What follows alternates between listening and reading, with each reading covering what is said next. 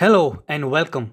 In this video tutorial of Windows tips and tricks, I'm going to show you how to check a computer if it can be upgraded to Windows 11 or a Windows 11 can be installed on it or not. Microsoft has recently announced a new version of Windows OS that is Windows 11 and published most of the new features of Windows 11 on its official website.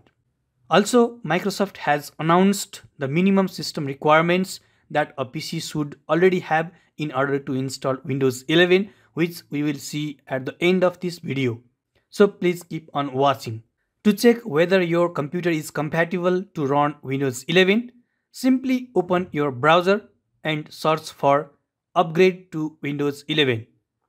Click on the first link of Microsoft official website or click on the link provided in the description below. Now scroll down all the way until you get the check compatibility section. Here click on download app. Currently I am using a desktop PC and I'm checking for the Windows 11 installation compatibility on it. It's quite an old PC. However, I'll also show you checking the same in a laptop that was bought recently. Now the compatibility checker software is also downloaded. Click on it. Wait until the installation is complete. Click on check now button. It may take some time depending upon your PC speed. I just fast forward this video. Well, in this PC, we get the message like your organization manages updates on this PC. For info about getting Windows 11, contact your IT admin or click on Learn More. Clicking on Learn More, it only redirects you to the Microsoft's official website instead of providing the actual cause of the problem.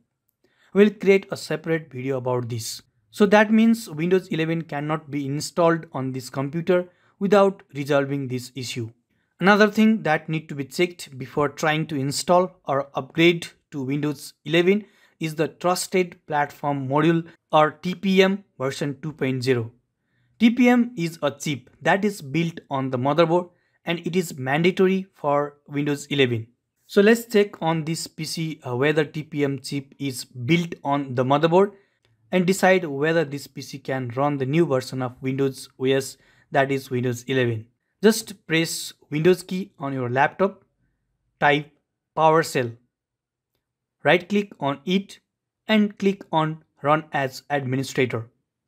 Here type get-tpm and hit enter. As you can see, the TPM present is false, which means this PC doesn't have the TPM chip, so we can't install or upgrade to Windows 11. Let's move on to our laptop and check here. Let's first check whether TPM is present or not. Let's open the PowerShell as an administrator and issue the command get-tpm. As you can see, the TPM present is true. We know that this laptop can go for Windows 11 by TPM's side. Also, let's check the TPM version which uh, needs to be 2.0 to install or upgrade Windows 11. To check the TPM version, open command prompt and issue the command tpm.msc. As we can see, the TPM specification version is 2.0. Also, let's check by downloading the upgrade checker software from the Microsoft official website and run it. Here you go. This laptop can run Windows 11 without any issue. If it couldn't due to insufficient minimum system requirement, it would give the message like displayed on the screen. To know when you can upgrade your laptop to Windows 11, Microsoft will let you know in your Windows Update section when it's ready to install. For this, click on Start button or just press Windows key on your keyboard. Type check for updates and click on it. Here, click on check for updates. When the Windows 11 is ready to be installed on your computer, Microsoft will let you know in this particular section itself. So keep on checking.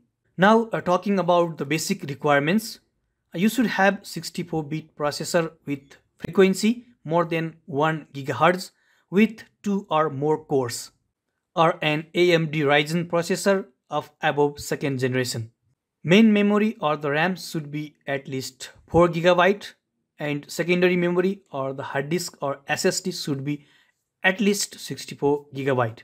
Your hardware system should be UEFI enabled or your PC should be capable of secure boot.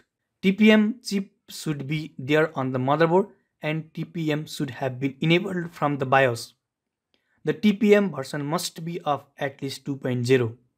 About how to enable TPM from BIOS, please check out our channel. Talking about the graphics card, you should have at least DirectX 12 compatible graphics and display and internet connection required as shown here. Okay, this is how we can check whether our PC is compatible to run Windows 11. I hope the video was useful to you. Please subscribe our channel and hit the bell icon. Thanks for watching. See you on other videos. Till then, have a nice time. Take care. Goodbye.